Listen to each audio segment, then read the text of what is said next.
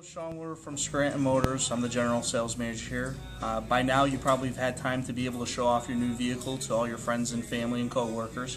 I uh, just wanted to uh, see if you know anybody that'd be interested in your uh, a, vehicle for them. Uh, at the same time, uh, also want to offer to you that uh, you can come down at any point. Why don't you give me a call, schedule an appointment for you to be able to come in and get that car cleaned up for you again.